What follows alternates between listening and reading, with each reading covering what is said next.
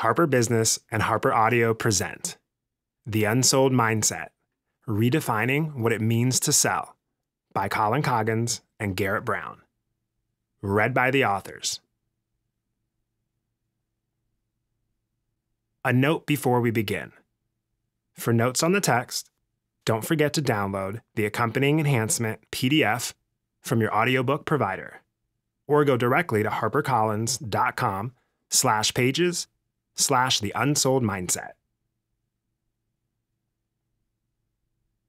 For my boys, Liam and Caleb. Damn it, you stole my thunder. It's for my boys, Cooper and Brady. Fine, for our boys. Author's note. Before we get started, some quick housekeeping items. First, the unsold mindset has been shaped by our experiences interacting with thousands of sales professionals and professionals who sell over many years. Some we sat down with to interview formally. Some we worked with on our teams or through engagements with our clients. Still others we met at speaking events, on airplanes, at parties, bars, universities, or just about anywhere else we figured out a way to shoehorn selling into a conversation because many of these conversations were held in confidence or with people who didn't know we'd be using their stories and experiences in a book someday, we feel a responsibility to protect their confidentiality. To that end, we've occasionally changed details like names of people, companies, and locations. We've done our best to be as accurate as possible, but in cases where we were recalling a story from someone we could no longer track down or communicate with, we filled in minor details for continuity, provided they did not alter the material point of the story. Second, a very random thing we learned while writing a book about selling is that the proper way to write the plural of the word no is either nos, N O S, or noes, N O E S. These both look extremely weird to us, and as you'll soon see, or hear, this book is all about being unsold on what you're expected to do. So we've decided to use an apostrophe and go with no's, N O apostrophe S instead. We're obviously huge rebels for breaking this rule. Lastly, the selling each of us do every day, and we all sell every day, takes countless forms. Because of this variety, putting labels on the people we're selling to can be difficult. In this book, we call these people buyers, prospects, customers, or clients. The terms are meant to be interchangeable. Okay, that's it. Now on to the good stuff. Introduction Who are the unsold? Before the first class of each new semester, there's always a moment when we look at each other, shake our heads in disbelief, and smile. There's something about watching a fresh group of students file into class for the first time. Their energy is contagious. They are the next generation of executives, creators, and world leaders, and it excites us that they don't yet realize the role selling will play in their journey. But our real reason for sharing that incredulous smile is more self serving. We know, standing together at the front of our classroom, that we're seconds away from being in that rare, special place where what we're good at and what we love doing converge. Where we're somehow getting paid for something we do for free. It's in those moments we're at our best, and much of what we'll do in that classroom for the rest of the semester will be about showing these students how to reach and sustain that mindset. As class begins, we watch our students cautiously sizing up the room, wondering what they signed up for. The syllabus says they've enrolled in Sales Mindset for Entrepreneurs at the University of Southern California's Marshall School of Business. But by the looks on their faces, they're not entirely sure what that means. Is this a sales class? Is it a mindset class? What the hell is a mindset class anyway? In addition to not knowing exactly what they'll be learning, they also have no idea who they'll be learning from. Most of them have never been taught by two professors at the same time, let alone by an odd couple like us. We don't sound like professors. Our language can get a bit spicy. We don't act like professors, zero slide decks ever. And we definitely don't look like professors, unless the image of a professor you have in your head is wearing t shirts, hoodies, and Nikes. The minute we start talking, it's obvious we're also very different from each other. One of us personifies logic, the other emotion. One is a clear extrovert, the other takes some time to get warmed up in front of an audience. When we start teaching, though, it's in those same dissimilarities they'll start to recognize one of the most important lessons they'll learn over the course of the semester. There isn't one right way to succeed in life or in sales. That lesson is important because the makeup of our class reflects an even greater diversity, with students from many majors and backgrounds, each with unique aspirations. A third of our class is there to learn how to sell ideas. They're future founders, marketers, engineers, and creatives. A third are trying to learn how to sell themselves. They want to get hired or promoted, build meaningful relationships, and lead people. The last third are the future sales professionals. They want to learn how to sell products and services. Normally, they've got a job lined up after graduation or know someone making a lot of money in sales, and they want to do that too. If any of them thought they were signing up for a typical sales class that would teach them how to build rapport, handle objections, or ask for the close, they find out very quickly that that is not what we teach. Instead, our class is about to spend 16 weeks finding out that the greatest salespeople aren't successful because of what they do, they're successful because of what they think. Our journey to understanding the mindset of great sellers started with two questions. The first is similar to what Daniel Pink asks in chapter 3 of his book, To Sell is Human. What's the first thing you think of when you hear the word salesperson? We've asked this more times than we can remember, not just to our students, but to salespeople and non salespeople alike. And almost everyone answers without a heartbeat of hesitation. Pushy, Manipulative, sleazy, dishonest, and annoying are among the most common responses. If we're talking to someone more magnanimous, they might say persistent, extroverted, relentless, or smooth talking, but the subtext is the same. We don't like salespeople. Or so it seemed. Answers to a second question we ask just as frequently paint a different picture. Who is the greatest salesperson you know? For years, we've asked this at the end of every conversation we've had with some of the greatest sellers, leaders, and change agents on the planet. Some answer with a person they literally know, others call to mind a public figure. Some point to visionaries who sell ideas on a global scale, others to hometown heroes who sold their way out of challenging situations. Some name bona fide influencers with millions of followers. Others name people with private accounts and no desire to chase blue check status. In every case, however, the answer was someone the person respected and admired. The more we thought about it, the more these responses failed to add up. How could all these people look up to the greatest salesperson they know and simultaneously offer cringeworthy stereotypes of the salespeople we all hate? We couldn't leave it alone. We needed to understand the discrepancy. We wanted to know how some people could be put on a pedestal for something for which others are stigmatized.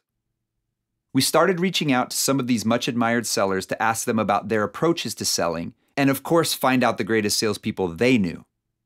As we followed the thread, we found ourselves speaking to CEOs, trial lawyers, doctors, world renowned artists, insta famous bartenders, decorated army generals, professional athletes, business school deans, news anchors, musicians, actors, and entrepreneurs of so many different stripes we lost count. The variety of people others regarded as the best salesperson was mind blowing. General Stanley McChrystal, whom you'll meet in Chapter 2, told us the best salesperson he knows is Major General David Grange, a remarkable soldier and charismatic leader who had the ability to inspire his troops by leading them to do incredible things others would not have been able to pull off. Like the time he led a division chin deep into the waves at Normandy. John Wexler, former vice president of global entertainment and influencer marketing at Adidas, GM of Yeezy, head of influencer marketing at Shopify, and now executive director at Fanatics Collectibles, said Kanye is the best salesperson I've ever met, hands down. Former Los Angeles Dodgers general manager Fred Claire reminisced about Vince Scully's incredible ability to sell a mental picture. Two people we spoke to knew Steve Jobs personally world renowned oncologist Dr. David Agus, Chapter 6, and legendary investor Keith Rabois, a member of the so called PayPal mafia that also includes Elon Musk and Peter Thiel, and both said Jobs was undoubtedly the best salesperson they had ever known. As different as all these incredible people we spoke with were, when we asked them about their own approaches to selling, we were struck by how remarkably similar they sounded to one another. What could chef and TV personality Roy Choi, NBA super agent Alex Saratsis, and CEO of Masterclass David Rogier have in common, besides American Express Black Cards? Only their entire approach to selling. The more people we interviewed, the more we found their answers echoing. They were saying the same things, but in their own words. What's even more interesting is that they had no idea. With each new person we interviewed, whenever we'd tell them that their views and approaches mirrored those we'd heard from other incredible sellers, they would have moments of epiphany. Even though they hadn't always been doing these things with a specific intention, they suddenly understood why they were so successful at selling and why they love it so much. It was as if these exceptional sellers belonged to the same secret society, abided by the same core principles, but their secret was so well kept, they didn't even know their society existed. We call these people the unsold, and they exhibit a distinct mindset. They are unsold on who they're supposed to be, how they're supposed to act, and what they are supposed to think.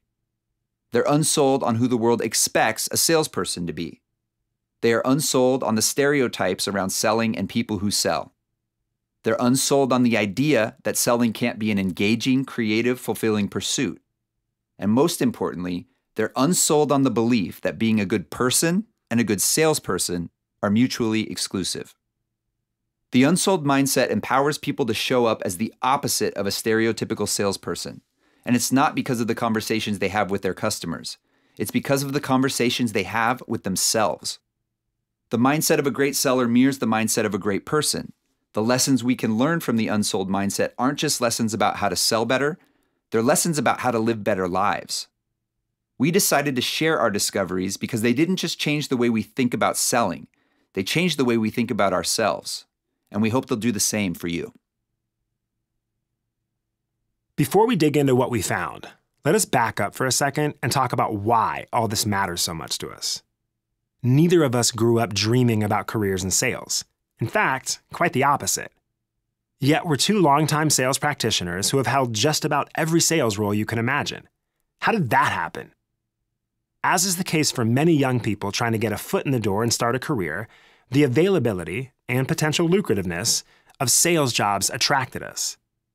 Colin grew up with a deep disdain for selling and salespeople, a sentiment most likely passed down from his mom, who wasn't a big fan of the pain and uncertainty that came with having a traveling salesman for a dad, Colin's grandfather. After graduating from the University of California, Santa Barbara, Colin set out to find his dream job in entertainment public relations. But his luck and his savings ran out at about the same time, forcing him to choose between moving back in with his parents or taking the first job he could find, selling fractional vacation ownership. He still won't admit that they're timeshares. He never moved back home. After graduating from the University of Southern California, Garrett followed in his dad's footsteps and went off to law school. Three years later, he was working as a lawyer representing startups. He hated practicing law, but loved the companies he was working with, so he left his firm and took a job at a startup selling sponsorships for online games because it was the first job he was offered and he needed the health insurance.